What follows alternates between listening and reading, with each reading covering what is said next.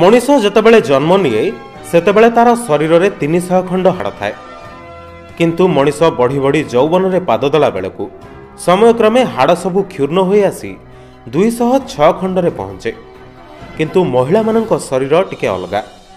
ଏଇ ଯେମିତିକି ବିବାହ ପୂର୍ବରୁ ସେମାନଙ୍କ ଶରୀର ଆଉ ବିବାହ ପରର ଶରୀର କ୍ଷେତ୍ରରେ ଭିନ୍ନତା ପରିଲକ୍ଷିତ ହୁଏ। ତେବେ ଆସନ୍ତୁ ଆଜି ଆମେ ନଜର ପକାଇବା ବିବାହ ପରେ ମହିଳାଙ୍କ କମର କାହିଁକି ପୂର୍ବ ଅପେକ୍ଷା ଫୁଲିଯାଏ? ବିଭିନ୍ନ କ୍ଷେତ୍ରରେ ମହିଳାମାନଙ୍କୁ ନେଇ ଏକ ସର୍ଭେ କରାଯାଇଥିଲା। ଯେଉଁଥିରେ ମହିଳାମାନଙ୍କର ନିତମ ଠାରୁ ଆରମ୍ଭ କରି ଛାତି ଯାଏଁ ଏବଂ କମରର ସବୁଠୁ ପତଳା ଅଂଶକୁ ମପାଯାଇଥିଲା ତେବେ ଆସନ୍ତୁ ଆମେ ନଜର ପକାଇବା ଏହି ସର୍ଭେର ଛଅଟି ପଏଣ୍ଟ ଉପରେ। ସାଧାରଣତଃ ଝିଅମାନେ ବିବାହ ବା କାହା ସହ ଶାରୀରିକ ସମ୍ବନ୍ଧ ରଖିଲେ ସେମାନଙ୍କ ଶରୀର ପୂର୍ବ ଅପେକ୍ଷା ବଦଳିଯାଏ। ପୁଅମାନଙ୍କ ମନରେ ନିହାତି ଏକ ପ୍ରଶ୍ନ ଉଠୁଥିବ ଯେ ଶାରୀରିକ ସମ୍ପର୍କ ରଖିଲେ ମହିଳାମାନଙ୍କ କମର କାହିଁକି ଫୁଲିଯାଏ ବା ଆଗ ଅପେକ୍ଷା ଟିକେ ଲମ୍ବିଯାଏ?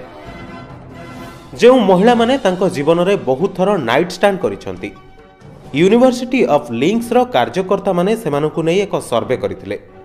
ସର୍ଭେରୁ ଏହି ତଥ୍ୟ ମିଳିଲା ଯେ ସାଧାରଣ ମହିଳାଙ୍କ ତୁଳନାରେ ଏମାନଙ୍କର କମର ବେଶୀ ଫୁଲିଥାଏ। କାରଣ ଏମାନେ ବହୁତ ଥର ନାଇଟ୍ ଷ୍ଟାଣ୍ଡ କରିଥିବାରୁ। କିଛି ନା କିଛି ଭୁଲ ତ ଘଟିଥାଏ ଏମାନଙ୍କ କ୍ଷେତ୍ରରେ। ଯେଉଁ ମହିଳାମାନେ ସେମାନଙ୍କର ଜୀବନସାଥୀ ବାର ବାର ବଦଳେଇ ଅନ୍ୟ ପୁରୁଷଙ୍କ ସହ ଶାରୀରିକ ସମ୍ପର୍କ ରଖନ୍ତି ସେମାନଙ୍କ ଅନ୍ୟ ମହିଳାଙ୍କ ଅପେକ୍ଷା ଦୁଇ ସେଣ୍ଟିମିଟର ବା ଆଠ ଇଞ୍ଚ ଅଧିକା ବଢ଼ିଥାଏ।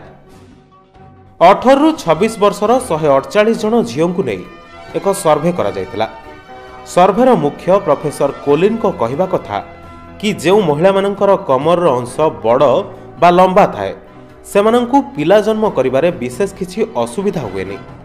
ବରଂ ଅନ୍ୟ ମହିଳାଙ୍କ ଅପେକ୍ଷା ଏମାନଙ୍କୁ ପିଲା ଜନ୍ମ ଦେବାରେ ସହଜ ହୋଇଥାଏ। ଯେଉଁ ମହିଳାମାନଙ୍କର କମର ଛୋଟ ଥାଏ ସେମାନଙ୍କୁ ପିଲା ଜନ୍ମ କରିବାକୁ ବହୁତ କଷ୍ଟ ସହିବାକୁ ପଡ଼େ। ସାଧାରଣତଃ ଯେଉଁ ମହିଳାମାନେ ନିଜ ସ୍ୱାମୀଙ୍କ ସହ ଅଧିକ ଥର ଶାରୀରିକ ସମ୍ପର୍କ ରଖନ୍ତି ସେମାନଙ୍କ କମର ଅନ୍ୟ ଅବିବାହିତ ମହିଳାଙ୍କ ତୁଳନାରେ ବେଶୀ ଫୁଲିଥାଏ।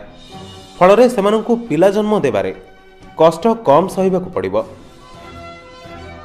ତେବେ ଏହିସବୁ କାର୍ଯ୍ୟ ପାଇଁ ନାରୀମାନଙ୍କ ଶରୀରରେ ପରିବର୍ତ୍ତନ ଦେଖାଯାଏ।